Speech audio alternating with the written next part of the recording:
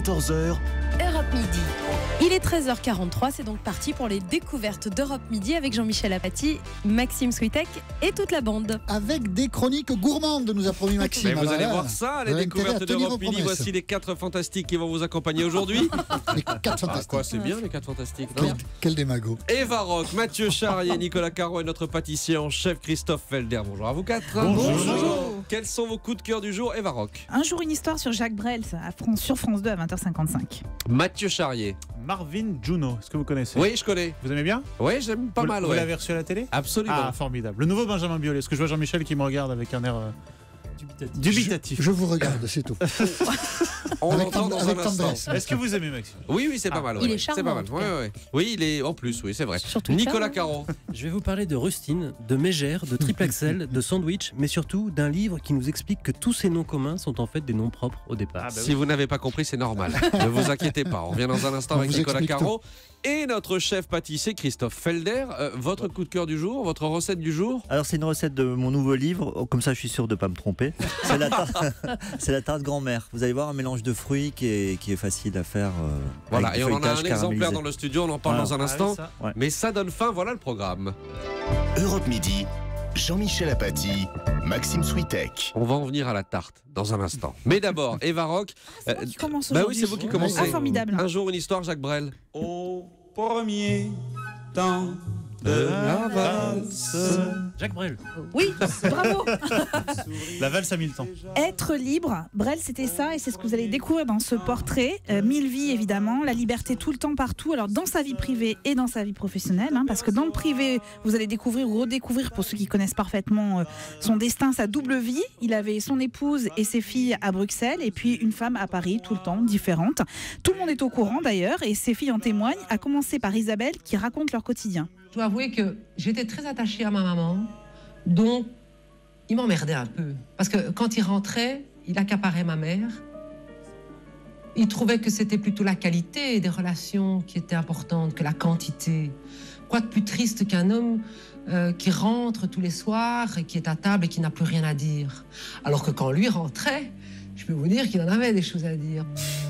Les témoignages des deux filles d'ailleurs sont absolument formidables. Alors Brel, il était libre aussi quand il décide après 15 ans de tournée d'arrêter la chanson. Je suis sûre que vous avez déjà vu et revu ces images à l'Olympia pour euh, son, son- sa dernière Oui. prestation qui sont toujours aussi émouvantes. Et alors juste avant cette dernière, il est interviewé pendant son repas et le journaliste lui demande si cela l'embête pas trop d'abandonner la chanson et le public. J'aime pas le mot abandonner. C'est une démission ça a abandonné. Ah, euh, oui, non, parce que moi c'est un côté Tour de France. Euh, J'arrête. J'arrête de chanter. Il y a 15 ans que je chante. Oui. Et c'est marrant, personne n'a voulu que je débute et personne ne veut que je m'arrête. C'est une des archives que vous allez pouvoir entendre, mais c'est surtout sur les témoignages que c'est intéressant. Vous allez découvrir évidemment sa carrière au cinéma, son rapport à la maladie, sa vie aux marquises, avec des témoignages qui sont hyper émouvants des habitants de l'île d'ailleurs. C'est un très beau portrait et qui est suivi d'un film que j'adore, L'emmerdeur d'Edouard Molinaro, avec le fameux duo Brel-Ventura. Et je voulais finir avec ça évidemment. À s'offrir en partage au jour du grand voyage qu'est notre grand amour quand on n'a que l'amour. Jacques Brel, un jour, une histoire France 2, 20h55. En 30 secondes, votre bonus Une soirée spéciale Syrie sur Arte à partir de 20h55 avec notamment un premier reportage sur les déserteurs de Daesh.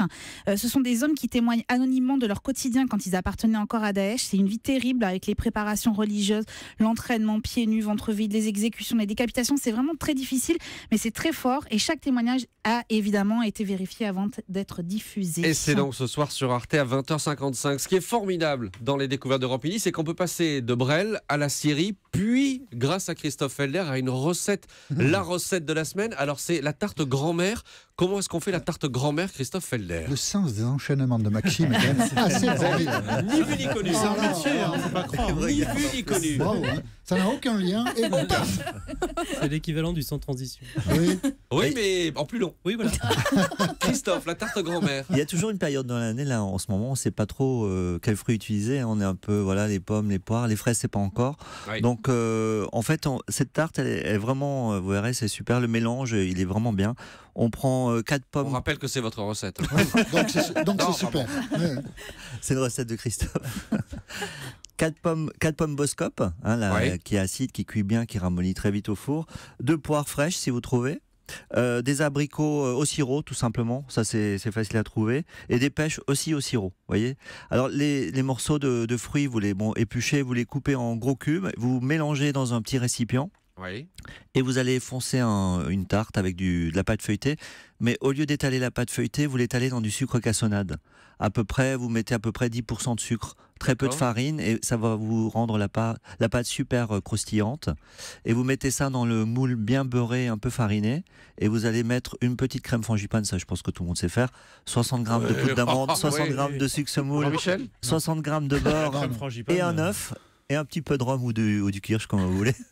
vous étalez, vous étalez ça sur votre pâte, vous mettez ce mélange de fruits un petit peu bombé dessus, vous cuisez euh, 45 minutes à 205 degrés en four ventilé à la maison et euh, vous allez voir c'est vraiment euh, trois quarts d'heure presque une heure. Bah, vous allez voir, on va goûter surtout. Parce qu'elle est là, cette tarte. Juste avant, ce que vous pouvez faire aussi, vous prenez des- un- une pomme, si vous reste une pomme, vous faites des petits bâtonnets, de pommes et vous les, vous les mettez en- avant la cuisson dessus. Et à la sortie du four aussi, vous pouvez la napper un peu avec de la gelée d'abricot ou de coin. Voilà donc pour la tarte grand-mère. On Voilà. mettra quand même la recette sur, euh, sur Facebook. Ah et bah puis oui, après, quand même, hein. bah oui, sur la page. Europe 1 de, Oui, sur quand la même, page quoi. Facebook. Europe, Ouais. Comment? Oui, si vous le demandez gentiment, on vous met la recette. euh, Bah oui, oui, quand bah même, oui, hein. bien sûr. Hein, non, quand je dis même, quand hein. même parce que tout le monde ne va pas forcément acheter votre livre. Non, On et va- puis tout le monde ne va Ah, pas la mince. manger. Mais j'en connais qui vont la manger. Ça, c'est vrai. Et on a quand même le, le titre de votre livre, vous l'avez pas donné? C'est le livre, ça s'appelle Gâteau. Gâteau. Ah ouais. Gâteau, ouais. Ah ouais, Et, le titre de votre tarte? Alors, euh, c'est La la, tarte, grand-mère. Ou grand-père aussi. un peu. Ouais, d'accord, d'accord. Voilà, Christophe Felder et Camille Lezec, c'est ça? Camille Le Sec, ouais. Camille Le Sec, Ouais. Gâteau, c'est aux éditions, vous allez La me dire. de la Martinière. Eh ben voilà, aux éditions de la Voilà. Martinière. Merci beaucoup Christophe. Alors on va déguster pendant la pub. Voilà, on a un peu de pub là. Euh, la tarte grand-mère qui est dans le studio. Mais on revient. hein. Et on revient pour la La suite des découvertes. À tout de suite. Europe Midi, Jean-Michel Apathy, Maxime Switek. Et à 13h53 sur Europe 1, c'est la suite des découvertes d'Europe Midi avec de la musique et de la lecture au programme. Eva Rock, un commentaire ou pas Sur la tarte. Eva n'a pas fini sa part de tarte. Elle est hyper bonne. Elle est très bonne. La tarte est Faut dire très qu'elle en très a la bonne. troisième part déjà. Oui, donc, euh, c'est ça. C'est ça. Faut vous calmer, Eva. Faut vous calmer. Mathieu Charrier, Oui. votre coup de cœur du jour, c'est donc Marvin Juno. Digne héritier de Benjamin Biolay. Retenez bien ce nom car je pense qu'on va en entendre parler. Écoutez un premier extrait. La symétrie, c'est deux semaines en. C'est croire encore que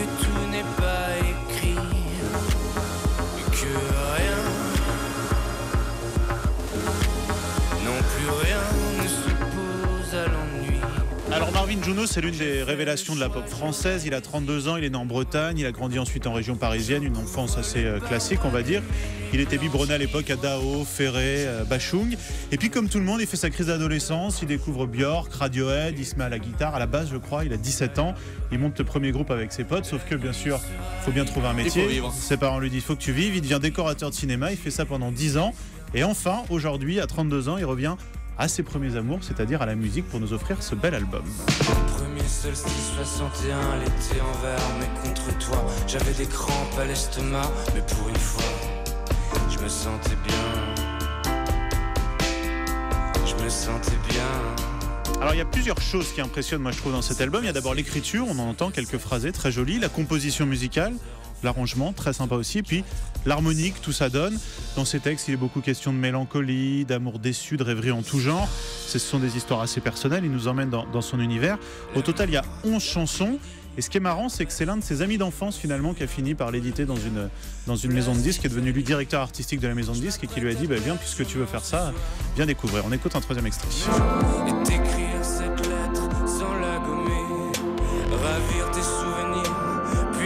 M'effacer, et teinter mes restes leur fumer, essuyer ma peine sur le plancher, mais C'est beau, Jean-Michel je vous, je vous vois le. Son histoire est assez, euh, assez forte. Ouais, c'est- c'est une histoire euh, assez symbolique des, des jeunes d'aujourd'hui. C'est bien, ça Il y a encourage. vraiment un truc de. Enfin, on, en, on en discutait là euh, calmement avec Eva Rock. Elle mettait sur la feuille Dao, Miosek. Effectivement, Oui, on pense Oui, à on, ça. sent, on sent toutes Mais les on sent influences, l'héritage, Ouais. La voix, il y a du violet dans la musique, il y a du chant fort aussi. Il y a Ouais. quelque chose Oui, de. Voilà. Et on sent Bachung, tout l'héritage ouais. de la chanson française. Et ça, on parlait de Brel tout à l'heure. Alors, on- n'en est pas exactement à ça, mais quand même, c'est vrai qu'il y a tout la- cet héritage de la chanson Sur le française. premier titre, oui, on le sentait vachement. ouais. Mais en même temps, vraiment, quand vous écoutez les 11 titres de l'album, euh, il a son univers. C'est-à-dire que c'est pas un copier-coller ou un énième euh, chanteur Je à suis à deux texte. doigts de télécharger. Ah, Ah, Ah, qu'est-ce ouais. qui manque pour que. Légalement, Bah, évidemment. un quatrième extrait. tarte. Quatrième extrait, on y va. Nourrir quelques regrets d'accord, mais sans remords alors. Le regard vers le nord, le futur à tribord. Allez, convaincu, je télécharge. C'est bon Ouais. C'est acheté, Eva? Et les enfants. À deux doigts. Ah, il va. Alors pour vous convaincre, vous allez le voir sur scène. Il commence une tournée 14 avril, printemps de Bourges, 21 à Rennes, 30 à Bordeaux. Il fait plusieurs dates en France. Il paraît que c'est génial. J'ai pas encore eu la chance de le voir, mais euh, en tout cas, vraiment, voilà. Retenez ce Marvin nom, Marvin Juno. Juno. Je pense qu'on va en entendre parler. euh, Et cet l'album s'appelle. Intérieur Nuit. C'était le coup de cœur du jour de Mathieu Charrier. J'en viens à vous, Nicolas Caro. Oui. J'ai pas tout compris de ce que vous nous avez dit en, en préambule tout à l'heure pendant le sommaire. C'est un livre donc de, de Gilles Verviche et Olivier Talon. Euh, vous avez dit Kafkaïen, c'est le titre, euh, chez Bibliomnibus. Il y a un sous-titre et vous allez tout comprendre. Quand un nom propre devient commun, c'est-à-dire donc lorsque quelqu'un, par exemple, non, c'est une marque, euh, le Ah, Scotch. Euh, lorsque l'inventeur souvent donne son nom volontairement ou Poubelle. involontairement. Exactement, on connaît les plus célèbres. Poubelle de, de- d'Eugène Poubelle, le préfet parisien. Il y a aussi euh, le marquis de Sade, euh, oui, la montgolfière, euh, qui a donné son nom au sadisme. Guillotin à la Oh, guillotine, même La si, entre parenthèses, ça, dis donc. Bah, dis donc, on en apprend des choses avec. Jean-Michel. et apathique. C'est moi qui ai donné le nom. Pas mal répondu, pas mal. Et, euh, Vous Guillotin, prenez des risques, mais c'est quand même pas mal. je m'en veux déjà. Euh, Guillotin qui n'a pas inventé la guillotine, il Ah faut bon le rappeler, et il n'a pas été guillotiné non plus, euh, comme Bah le dit la légende.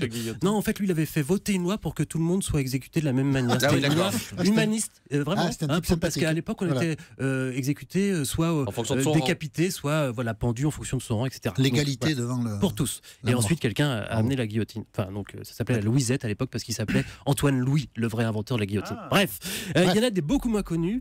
Euh, 140 ont été recensés dans ce livre donc de Gilles Verviche, qui est un philosophe, et Olivier Talon, un scientifique. Je me dépêche parce que je vois que ça avance. Il y a algorithme, par exemple. Ça vient d'un mathéma- mathématicien Al- arabe du 8e siècle presque. Il s'appelait Algorithme. Abu Jafar Muhammad Ibn Moussa al-Khwarizmi, mais tout le monde l'appelait al-Khwarizmi. Vous allez dire, ça ressemble pas du tout à algorithme, c'est vrai, mais euh, il écrivait des livres de mathématiques, il a été traduit, notamment en latin, et ça donne.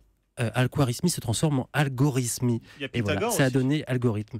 Euh, Pythagore, oui, mais voir. au théorème, Oui, effectivement. non, mais je vous, je vous suis Mm. sur. Euh, Il y a Axel, je ne sais pas si vous avez déjà demandé ce que c'était que les triple axel, les double Ah axel, d'où ouais. ça vient. Ah ouais. Non, bah, je vous le dis quand même, c'est à cause d'Axel Paulsen, euh, champion euh, de, champ- de patinage artistique au championnat du monde de 1882 à Vienne. Et voilà, on a choisi son prénom plutôt que son nom pour une fois. C'est d'ailleurs comme Fosbury, Dick Fosbury au son hauteur, ou la Panenka au football. Euh, Il y a Jacuzzi, alors ça c'est facile, Euh, c'est le nom de son inventeur tout simplement, Candido. Monsieur Jacuzzi, un industriel américain. Mhm. Méduse, Méduse, c'est facile aussi, c'est la divinité grecque. Méduse, vous savez, avec des cheveux en serpent. Euh, c'est pour ça qu'on a donné son nom à l'animal marin. Et elle changeait ses victimes en pierre d'un simple regard. Voilà pourquoi on dit aussi être médusé, Ah. comme pétrifié. Mais il existe une autre divinité grecque moins connue, mais dont le nom commun est ultra répandu, c'est Mégère. Une furie particulièrement hargneuse et méchante. Et je m'arrête là, mais il y en a plein, il y en a Il y en a 140 plein, dans le voilà. livre, c'est superbe. Vous avez dit Kafkaïen, c'est le titre de ce livre et de votre coup de cœur. Il faut qu'on s'arrête là parce qu'un homme qui a triomphé hier soir au Ah Folies oui. Bergères Ah vient oui, d'arriver dans ce studio.